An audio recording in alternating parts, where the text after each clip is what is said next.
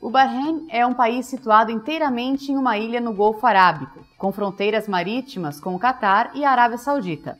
Sua capital é Manama, a maior cidade do país.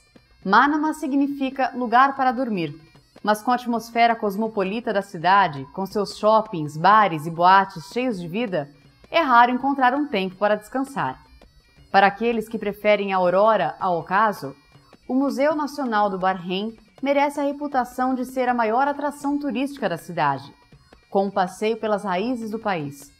Manama também é a porta de saída para as diversas atrações turísticas do país, como o Forte do Bahrein, construído no século XIV, e o Templo de Barbar, que data de 3000 a.C.